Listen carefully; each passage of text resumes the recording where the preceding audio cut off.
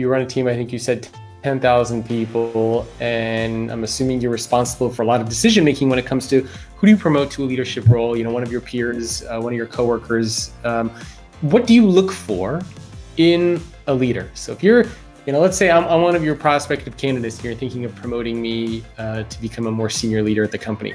What would you look for yeah. for me to, to decide if I'm a good fit? Um, so I'm huge into chemistry because I believe that um, if if people can sort of get along as a team, then there's going to be a lot of, of melting of the silos, which tends to be a problem in these gigantic companies where they're highly matrixed. So that's important. You know, are, are uh, do you have great communication skills? Um, you know, are are you a good listener? Is there give and take? Do you have ideas of your own? Um, you know, that you can kind of blend, uh, etc. That's the first thing. The second thing is, I, I want to hear the truth.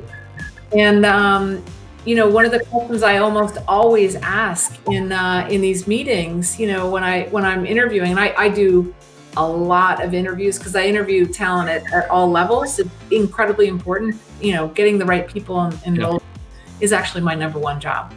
Um, and uh, I always ask them, so what do you know about Microsoft if they're coming from the outside? What do you know about Microsoft US if they're coming from the inside? What do you know about my leadership team and what do you know about me? And if they only say positive things, it's a turnoff.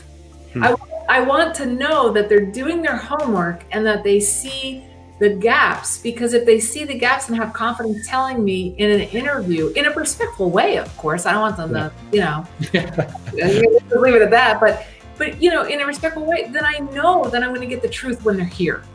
And that's when all of a sudden you've got you know this notion of i guess integrity partner. When when when you know that you're going to get the real deal because you can't fix what you can't see. And teams are all about eyes and ears in every direction and helping each other see where there's opportunity to close gaps and to go faster.